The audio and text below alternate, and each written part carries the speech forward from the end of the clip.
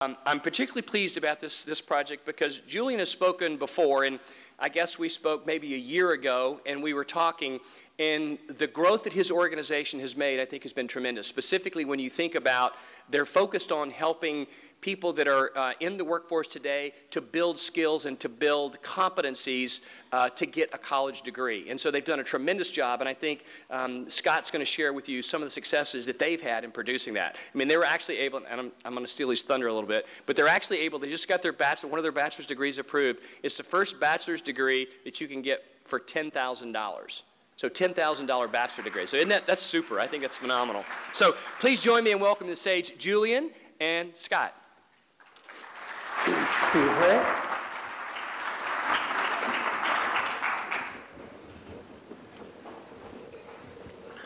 All right, good morning.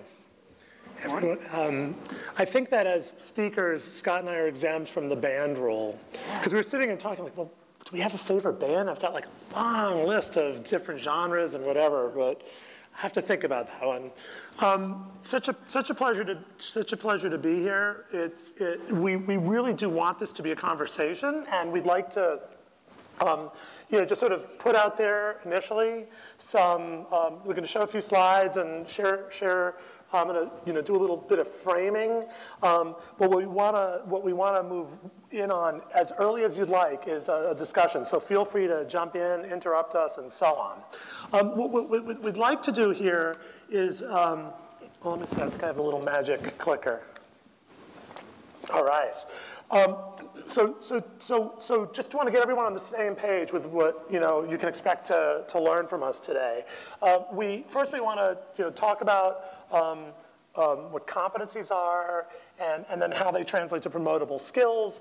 And, and, and we really want to offer, you know, we really, this is a case study. What, what College for America and Orange Lake Resorts are doing is, is, um, is, is, we believe, a model that we hope others will consider. I want to begin by talking about data. And I think what, what for me, what really is exciting about this is, um, so I ran a consulting think tank for 15 years, and just a year ago, merged it in with Southern New Hampshire University to, to help start this new college for America, which I'll talk a little bit about. Um, my work over the years has always been focused on on how do we get employers and educators on the same page. And I believe, I think Scott shares my belief that that a competency-based approach allows us to use workforce analytics on the education side, believe it or not, the way so many of you do now routinely in the world of business. So what we're really trying to model is a, a, a new way of, of, educating and to, to serve both individual students, workers, and workers' needs as well as company needs. Um, and you know, the, so, so just beginning with kind of some of the big data, the unfilled jobs out there are definitely taking their toll. And you can see here on the screen, um, where did this come from again? Career, uh, career Builders Survey, that's right. EMSI Career Builders, it's here. Um, 50, 54% of employers have open positions they can't fill.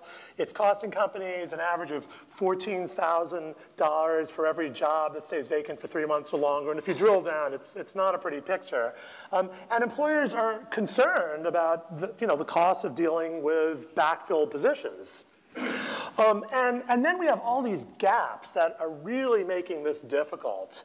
So we talk, I, I do a little blogging from time to time uh, and have written a bit about the, the skills gap and you know, we hear about this again and again and, and, and, and so much of this is, um, is predicated on the notion that now 65% of jobs um, require some post-secondary education. Um, that's a projection from Georgetown University. Um, so there's this, there's this, you know, it used to be that high school diploma or GED was an entry to a career. That's no longer the case. I mean, the most basic jobs, from, for the most part, all require at least some post-secondary. Um, and, and so, you know, so how are we doing to address this issue? Well, a couple surveys recently by Gallup for two different organizations found like amazingly different uh, results. One talked to higher ed leaders, um, chief academic officers, who, who, who said that 96%, 96% of whom said that they believe that their institutions are appropriately preparing graduates for work, while at the same time, 14% of the general population, but only 11% of business leaders agree. So it's like, you know, whose issue is this? Whose problem is it? Is it business? Is it education? Um, I like to believe it's sort of both. We did a survey um, at College for America this past year of four or 500 um, business executives and found that um, companies these days, and we're seeing, and this is echoed in other research I've seen, companies prefer to, um, to, to develop management, uh, management uh, personnel, you know, move people up the pipeline from within their companies, um, but they lack that, uh, um, um, uh, that, that these folks, they, they report that these folks lack promotable skills. And we keep hearing that again and again and again. So Today's options definitely fall short. Um, the traditional colleges just were not built for working adults. So many of the students, so College for America is, is really specifically targeted to working adults. And what we're finding is that for so many people, especially people who lack the post-secondary credentials they need to advance, you know, it just, it just doesn't work for them. In the first case, maybe they couldn't afford to go to school. Being in school means having to be in, you know, whether it's online or even bricks and mortar, oftentimes having to be, you know, following a certain course at a certain amount of time dictated by the school, not by your own time. Um, projects, you know, at school, you know, curriculum may not have any clear relevance to what you're doing in life, especially after you've been out of school for a while and you're working. And, um, and then what does, and then for employers, it's like, well, so what does, you know, what does the B plus that, or sorry, you're probably an A student. What does the A that Scott got in his section, um, you know, in his college mean compared to the B plus I got in mine? It's like, what, you know, what, really what relevance does that have? Um, Schedule is a huge issue. It's, it's when, you know, when it comes to trying to juggle school and, and, and work and family, work and family always seem to win for most people. And then cost is a huge factor. So competency-based approach is really a whole new way of thinking about this. And, and so, and I'm gonna talk, drill down a little bit more because that's really where our analytics come in. And you'll get to see how, you know, kind of a little bit how we're trying to be smart about, smart about this. Um, but competencies are focused on, you know, skills that are articulated, definable, measurable. You can see them, you know, employers get them. You see them in job descriptions. Many companies now are using competencies in their own uh, personal management. Um, and, um, and it's, you know, and, and, competencies can define learning. So, so in our program, you know, you, you, um, you, you, you, you, you, um, you know, you, you master your 120 competencies, say, and you have your associate's degree, whether it takes you six months or two years. Um, and then competencies, a competency-based approach is, does not does not tie us to seat time. So you do not have to be in that course for those hours, whether you know the material or not. So, um, and competency, a competency-based approach, so just to talk a little bit about how we do this, um, what, what we'll do is go out and my, my team, our, my job at the college is, is to ensure that our offerings have labor market relevance. And so what we'll do is um, industry analysis, industry trend analysis, occupational trend analysis, and we'll look very precisely at the competencies that are in demand in the jobs for which our college is preparing students. And then we'll use that information um, and feed it to our faculty who work with subject matter experts to develop the projects that form the basis of our curriculum. And so the kinds of competencies we're talking about are, you know, like negotiating with others to resolve conflicts and settle disputes, or being able to convey information by creating charts and graphs. Very, very practical. Same stuff that our students in the traditional programs need to know, but you know, designed in a way for working adults. Um, we, just as an example, we did a report uh, just this past year, and actually one last week we released on insurance. The first was on healthcare, where we looked at competencies. So, you know, with the healthcare reform, there's all this responsibility being pushed to frontline workers.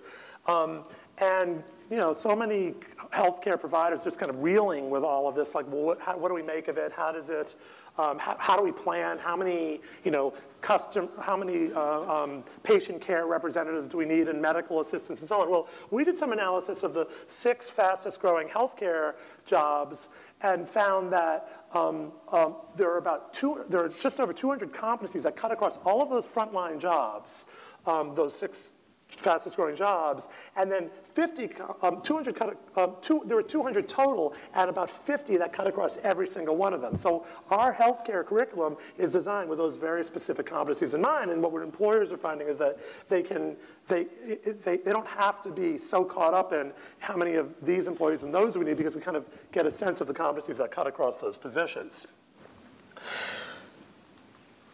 So College for America, just very briefly before I turn it over to Scott, and he can talk a little bit about how this is actually playing out in a real life partnership with employers.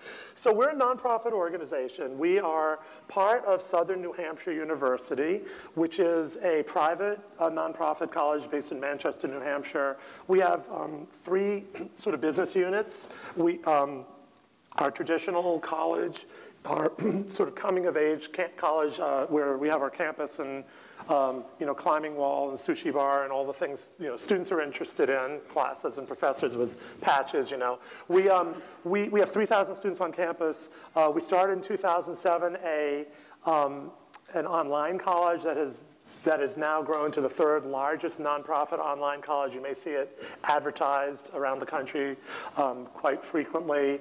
Um, and then College for America was started uh, this past year really as, as, as a disruptive innovation um, with the idea that there's something like 43 million people in this country who are working who lack post-secondary credentials, period. There's many more who are working who are under credentialed who may need that BA but don't have it.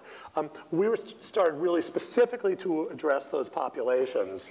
Um, and, and so all our projects are, are so, so, so students um, um, complete projects. Embedded in these projects are these competencies that I've talked about. And then upon successful mastery of projects, um, students attain their degree. Again, whether it takes them um, six months or, or, or, or, three years. We, we actually already have um, um, several graduates. We, uh, uh we, um, we have, uh, I think it's, it's over 60 now, business partners uh, that we're working with. We just went live in October, um, uh, you know, in, in, in, including um, Holiday Inn uh, Beach Resorts and, and many others.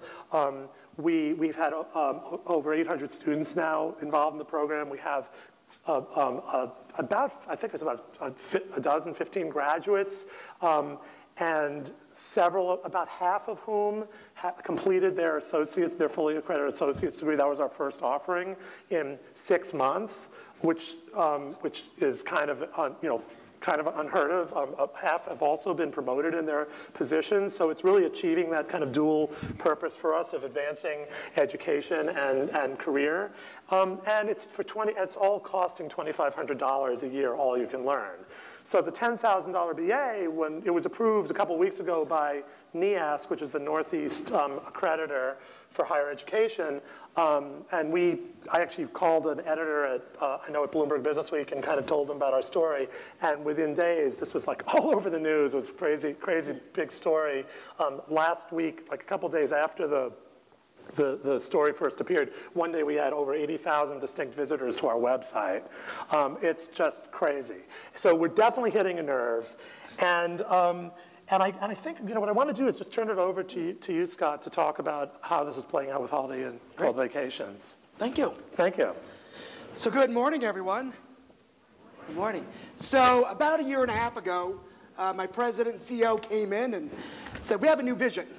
And our new vision is uh, we are going to be a billion dollar company in 10 years. And at that point, we were about a $250 million organization.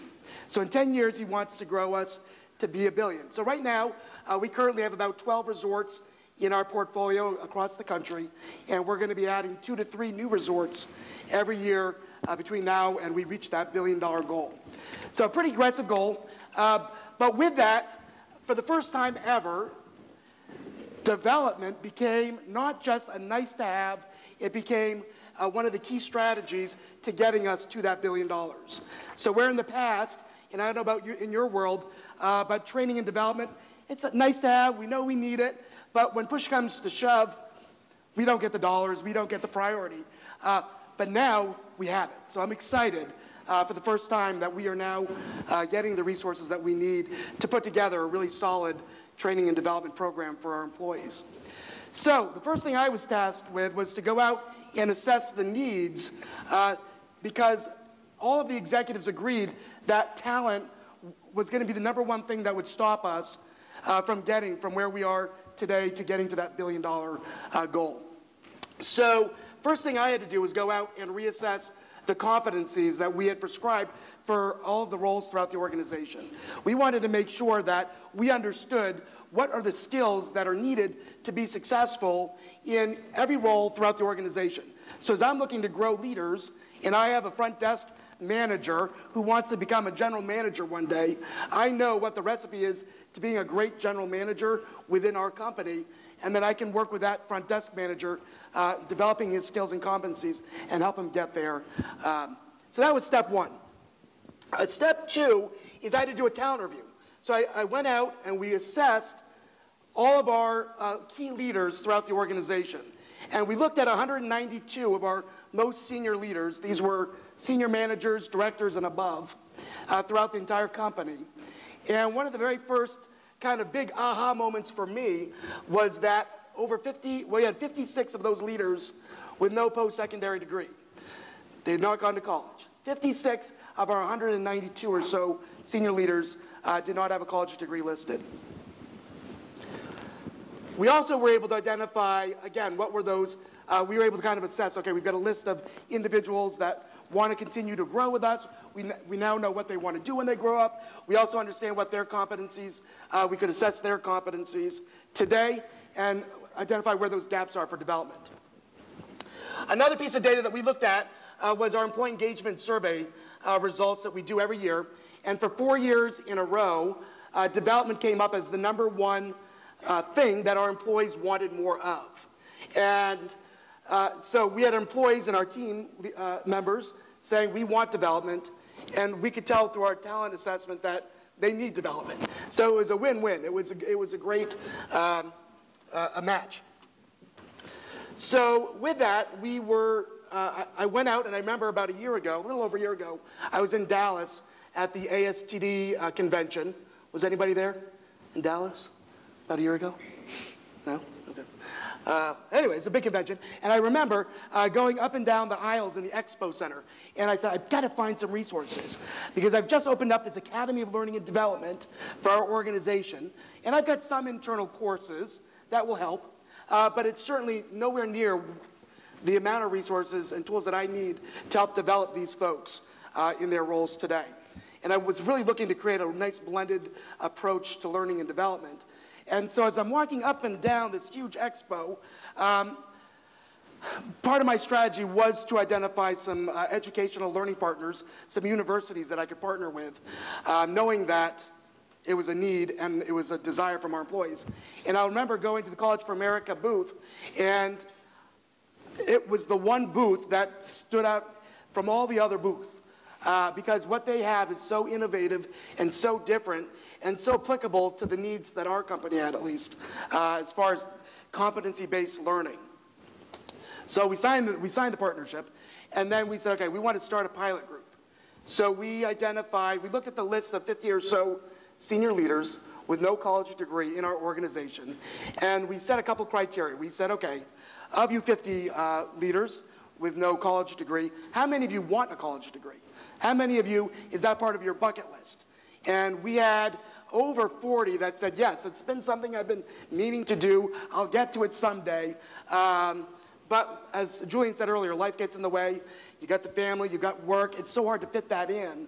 Uh, plus, it's financially hard to, uh, to accomplish that. So he said, okay, of you 40, uh, how many of you are uh, interested in still growing with us as an organization? And we kind of pared it down a little bit more because we had some of those leaders that were, you know, ready for retirement, and this was kind of their last role, and they weren't interested in uh, any further development for, for, from us. And then we were also looking for folks that were interested in relocating.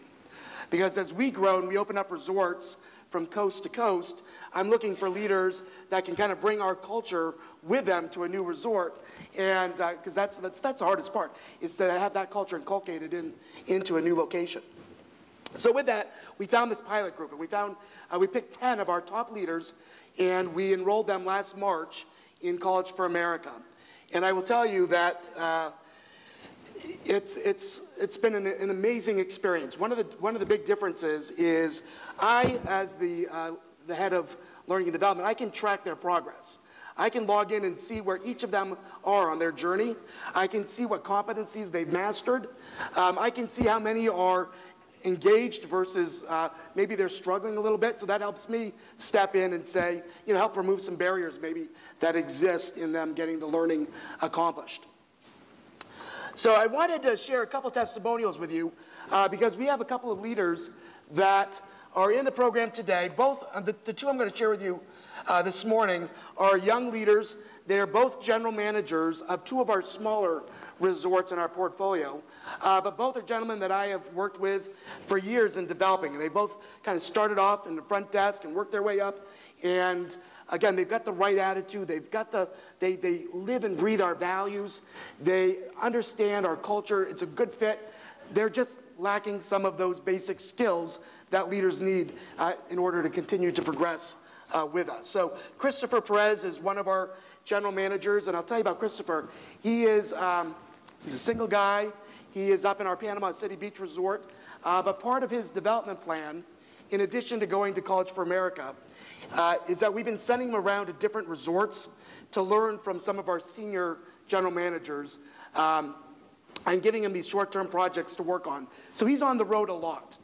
And Chris is, uh, he is right on track with the program. He will be, he will have his degree in two years or less. Uh, but one of the things that he said that he loves about this program is that when he does travel, he can't really log in and, and do the projects um, as much as he'd like. Um, and this program allows him to have that flexibility. So he may, he may work two hours one week or no hours one week when he's traveling on, on, his, on his program. Uh, but when he gets back into town, he could spend 10 hours. Uh, it's not like a traditional college program where you have to be, you know, at class or you have to have certain projects by certain due dates. Uh, this program allows Christopher to, to travel, continue his development, and be successful uh, in attaining his college degree. The other gentleman is Pete Salas who is at our Marco Island uh, property. And Pete is a, a, father of two very small young ones. Uh, he is a single dad running a resort, balancing daycare and work. And again, college was on his bucket list, but I think it was on his in 20, 30 years from now, I will go back and get that college degree. Uh, what College for America has been able to do is afford him that opportunity to, again, at night, the kids are asleep, he can log in and work on the projects, and he is actually on pace to complete the program in less than a year because he's just knocking it out at night. He is so pumped up and excited about this program. And so I think about someone like Pete, single dad, and you know, he's a a, a general manager at a small property, so he's probably making 60000 a year um, with the two kids, and he's able to afford to go back to college because it only costs him $2,500 a year. Now, the beautiful thing is what I would encourage you to think about is one of the things that we incorporated as part of this strategy was a tuition reimbursement program for the first time with our company. Uh, we launched it at the exact same time as we launched uh, College for America. And because again, it was one of those things our employees have been asking for for years and years and years. And it's also something that most of the, uh, the brands that we compete with have some sort of tuition reimbursement program. Um, so I was able to get $2,000 a year established for, which didn't seem like a lot to me, but I was happy to get something for our employees to utilize to go back to school. And I'll tell you, you take that $2,000 from the 2,500, and I'm not a mathematician, but I'm thinking that's like 500 bucks, right, a year to get a college degree. And the other beautiful thing is uh, one of the things that differentiates College from America from our other learning partners is they direct bill us, and then we, you know, we pay them. We bill out the departments uh, for the for the $2,000 for the tuition re, uh, reimbursement, and then we're able to set up uh, payroll deductions for the employees. And um, so I'd initially set up $50 a week for 10 weeks and thought, well, that'll be doable, right? I had one young lady in Vermont, uh, one of our front desk managers in Vermont, um, who tried to pull out of the program. And she'd been identified as an up and coming star and someone that we wanted to develop and get ready for that next step in their career, in her career. And she tried to pull out. When I asked her why she was pulling out of the program, she said, I, I can't afford $50 a week. And I hadn't thought, I didn't think like, oh my gosh, for some people, $50 a week, that's a lot of money, right? So again, one of the pieces of advice that I give uh, to you all, if you, if you do uh, have a program or sign up for College for America is be flexible. I was able to do uh, 20 week, $25 for 20 weeks. I even told her, if you want to do $10 a week for 50 weeks, I'll do that just to get you into that program. Um, so again, it's affordable for our employees. Um, now that the pilot program is done, we're now opening this up to all of our employees across the company. And I'm so excited, I'm very excited to hear that there's a bachelor's program now uh, that we'll also be able to, to offer out uh, to, our, to our members. But again, part of our key strategy is to send our workforce back to school, get them the skills, because I'm only one person and I can, as much as I offer workshops and things like that back at my um, headquarters, uh, I can only do this much. And uh, College for America is a great tool in our toolbox that we're able to, uh, to give to our, to our team members. Great, thanks, Scott. You know, I, I, I just want to say, so what, so what Scott's describing, so, so we are, what Scott's describing, we're doing with another 60 co company partners. We're, we're a business-to-business -business model. We're not, College for America is not open. It's not, we've not gone retail. So, so even though we've been flooded with thousands and thousands of calls from individuals who want this. We're, we believe that um, the model makes a lot of sense, particularly because of this workforce focus, for us to be partnering with employers to help them sort of solve and address specific problems, really largely around leadership and talent development, retention, um, succession planning, and so on. Um, and, and just a little bit more about the model, because neither of us mentioned this. The, um, so we don't really, we, we've sort of, um, uh, um, broke, disaggregated in a sense, the traditional role. We don't have faculty in, in, a sense. We have coaches who work with students who come from College for America. So when we partner with the company, um, each student is assigned a coach, a learning coach. And the learning coach is their, their job, like the student cannot proceed in the program without first connecting with their coach and really figuring out how are they going to work this program into their busy lives. How are they going to set pace and how are they going to, you know, they're to do, plan to do their homework, I don't know, at night after the kids go to sleep, on the weekends, when they have a babysitter, during, during work, no, just kidding. Um, um, hopefully not. Um, we allow some. I yeah, well, maybe so, exactly. Sense. Well, yeah, no, actually, truth is it varies from employer to employer. And, and, and, and then the coaches also are, will in turn work, and it varies from company to company, but um, companies will have their own internal uh, HR training and development, you know, people coaches types, and so we'll coordinate with all of that. The whole idea is that we almost, we kind of come as a platform that's somewhat malleable, but the, the net result is that you're getting an accredited, you know, credible, um, um, rigorous college degree. Um, yeah, which I think is also important. And then, and then when students complete projects, the other piece that we're really proud of that goes right back to the analytics, and we'd be happy to show this to any of you um, in greater detail. My, my, my um, colleagues Steve Giglio and, and Kale Allen are, are you guys in here somewhere? Oh, there they are. There's Kale, Steve's at the, I guess at the back as well. Uh, well oh, there you are over there. We have a, a, table outside, but we're happy to show you our learning management system, which we're really proud of, because in so many ways, what we're really talking about is a big data project. Everything the students do um, is captured in our learning management system. And we, we actually developed our own. It's, it's based on a Salesforce platform, because we found that in higher ed, there's just nothing to do a project-based approach. And so all the conversations and interactions with the coaches, all the project work, it, it all feeds into the system. And when students hit send or whatever they do, um, enter to send us a, a, a, their, project, because it is all online, um, their work goes to a reviewer who, who, will, who, who um, will get back to them within two days, 48 hours, although I think we're averaging 30 or so, um, with a review of that project, and we'll, we'll, we'll identify the competencies in that project that the student has mastered or not yet. So we're not grading them here. It's all about mastery, and it's all about helping people, um, you know, especially people who've been out of school, don't see themselves necessarily as college material or something you know, realizing they can fit this into their lives. It's all designed around this idea of kind of building confidence, building mastery. Um, and, the, and the reviewer gets back to the student with a review of that work and um, suggestions if they haven't mastered or not, if they're not yet, as to resources they might consider as they go forward. Um, and all of that feeds into the system. So the student has a portfolio that they can bring back to work, to others. Um, we, in our bachelor's program, each student has to complete a capstone project that is a work-related project, so they're explicitly solving a work problem. Although what we're finding, we're getting all these great stories. I don't know if you've heard any of these yet, Scott, from students who are saying, like, you know, they, they did some project that involves spreadsheets or whatever in our program. They've actually taken that methodology and used it on a work project. They're very proud of that.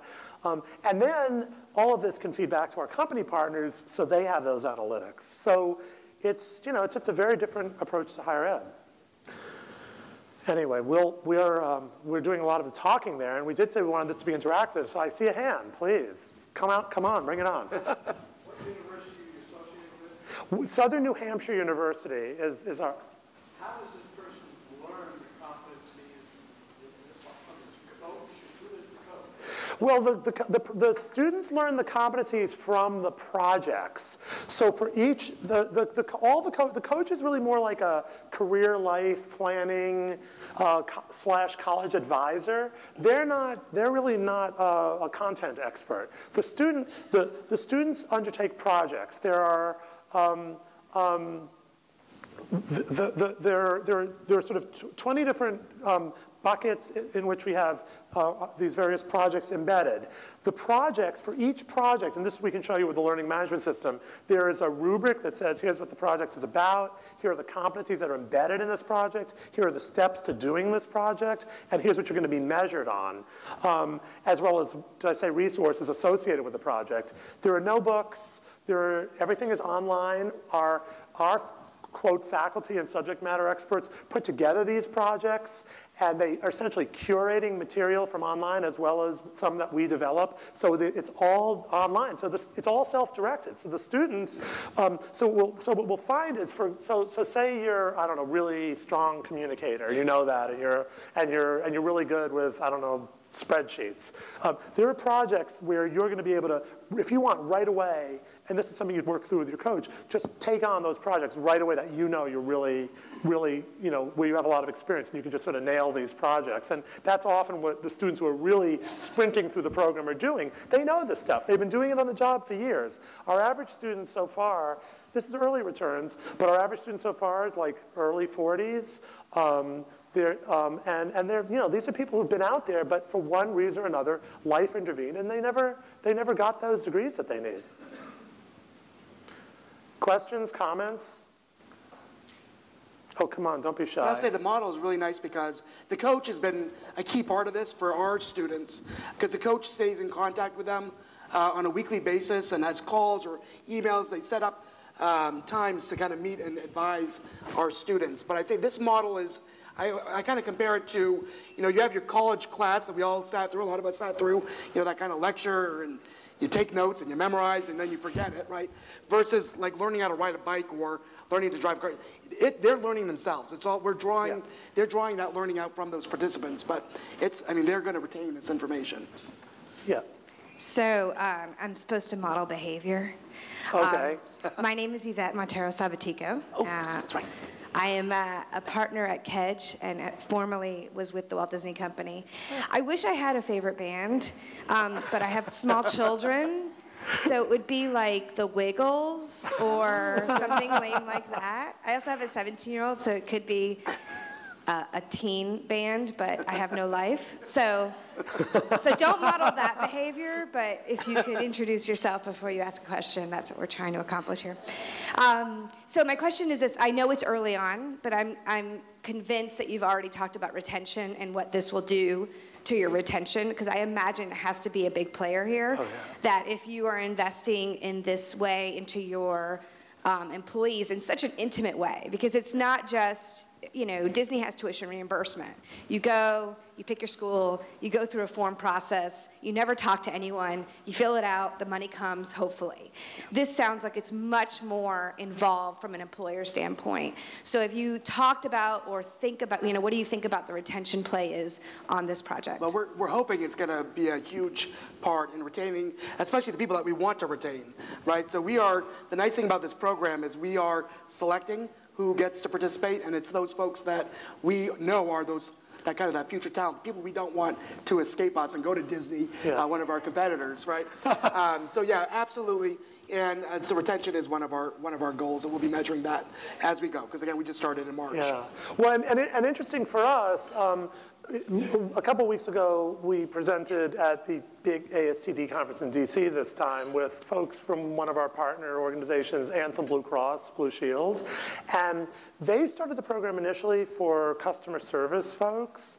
And it just was so interesting. We, um, um, I did a pre presentation with their uh, you know, head of training and president of my college did a presentation with their president, um, and both of them talked all about the cultural aspects and how, like, so they started with these, these frontline customer service people, but then a whole bunch of managers I asked, more like the groups you're targeting, managers who lack those credentials or people on their way to management.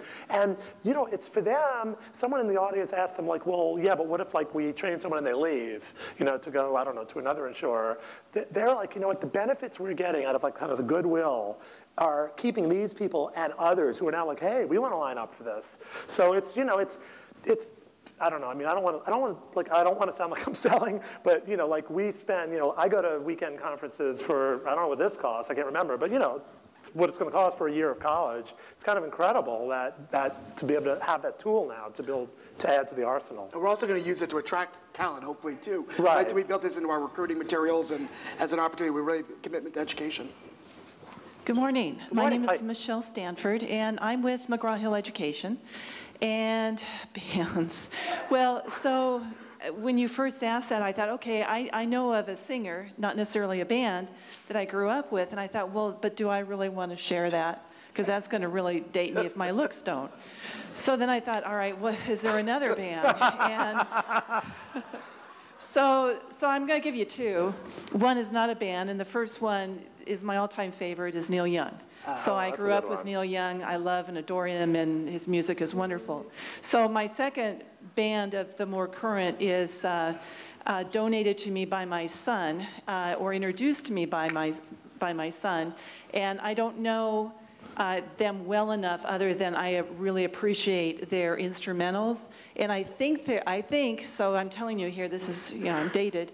Uh, I think they're out of Japan and they're named um, Gabriela and Rodrigo, or it might be the other way around. Anyway, they are uh, amazing in their instrumentals. So those are my, my two bands. So my question for you is, uh, at McGraw-Hill Education, we're aggressively hiring up, uh, attracting uh, technology talent. Uh, folks who have uh, degrees or higher learning in software engineering, uh, technology architecture, those kinds of things, because it's critical to how we develop and release our products and our services. So how does your, your program uh, and, and any of them, because I know that a number of institutions are going to this competency-based curriculum. How, are, how does that, what you're offering, uh, parallel or complement some of those more core disciplines? Because, Yeah. and before I let, I let you answer that, one of the things that we're seeing is that on one hand, there's a, a very strong reliance on that expertise. On the other hand, it's transferring that expertise, whether it's, it's collaboration or it's, it's influencing skills, those competency-based behaviors that are necessary to kind of balance out both. Yeah, that's a great, it's a great question. We're, I, I sort of see this as like, I don't know, um, kind of like the T, you know? So, so um, we're, we're a liberal arts institution. We're addressing, our degrees are, um, our, our associates is a general education degree with a concentration in business. Our bachelors now are in communications and business management. Um, we're really addressing the, the broader skills to make sure that people can read, write, think critically, have digital and fluency and literacy, can work in teams, can solve problems, are ethical, and can apply this in the workplace. We're not really going at the technical side, kind of. So, so but, but but number one, the approach absolutely could be applied there, but that's just not what we're doing at this point. We're really sticking kind of to the non-technical piece. Oftentimes that is being um, dovetailed with more technical training, very often done by our employer partners who want to train in their ways. Um, um, and, and yeah, and that's, I mean, that's really what it's about for us. The competencies, part of what we're looking at, and the reason we're so fixed on this whole competency approach is part of the problem with very technical training we found is, you know, like, like if you, you know, we're using semantic analytics that allow us to look at the competencies and because thousands and hundreds of thousands of jobs, and then to see how they might align with our curriculum. The competencies, the level at which we're looking at competencies, um, these competencies have a long shelf life across our careers. You know, the kind of stuff I flashed before, you know, being able to work with spreadsheets or something. This is something you can do whether you're an expert in today's version of Java or one that was out five months ago or two years ago. So, so we're really focusing on building those skills that have kind of a long shelf life and to carry people in, you know, forward in their careers. And I'll just add that we have, one of our students is a director of IT in our organization.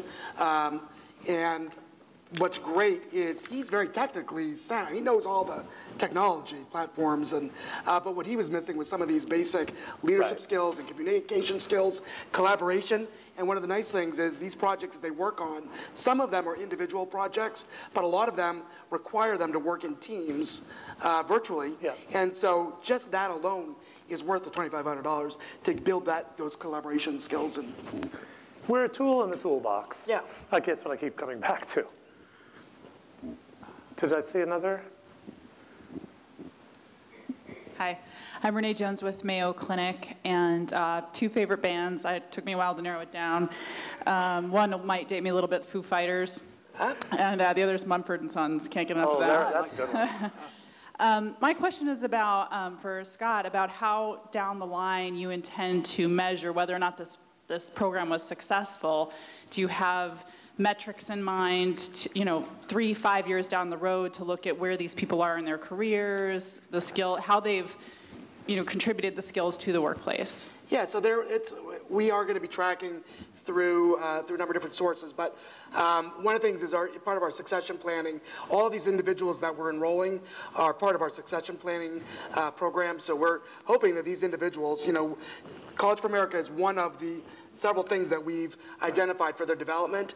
And so we're looking at, uh, you know, the progression in their career. So uh, five years down the, the road, ideally, these individuals will be higher up and helping us lead at a different level through the organization. You know, and part of, I'm, I'm glad you asked that question because part of what is really um, exciting for me to be at this conference is um, we want to really, on our end, you know, we, we want to keep drawing on that data that the employers see as valuable to really figure out how are we, you know, how are we driving ROI in this. And so really open to and interested in hearing thoughts about, you know, what's the kind of data we should be looking at and how can we link up with you around all of this? Because we want to, because part of what you know, we're charged with is, is, is both looking at that hard data and figuring out what are the, you know, the anecdotal stories are coming and you can hear lots of them from Steve and Kayla and, and Scott and me, but um, you know, really beginning to get some good hard numbers because that's another thing that in education it just lacks. You know, it's all very fuzzy-wuzzy out there. And the other nice thing about uh, College for America is I, I, again, I have access to all of this data, which I don't have from any other university. I mean, other universities, I don't even know who's enrolled because I'm not allowed to know, right? So we know through tuition reimbursement who's taking what classes. But at the end of the day, I've got a great pulse on what's going on Yeah. with these 10 individuals. Well, and we do, I should say with the data, I mean, we're bound by the same rules as everyone else in terms of FER- FERPA, is? Um, we, and so we, stu- our students, we will ask students waiver, yeah. to sign a waiver. And most of the, so far, they've all, I don't think anyone has refused to do that. I think they're all fine with that. So, um, but even if they don't do that, we can still share data in the aggregate. Okay, we have time for one last question. One last question. Anywhere? No? You are. Okay, Julian Scott, thank you so much. Thank you all so much. Thank you.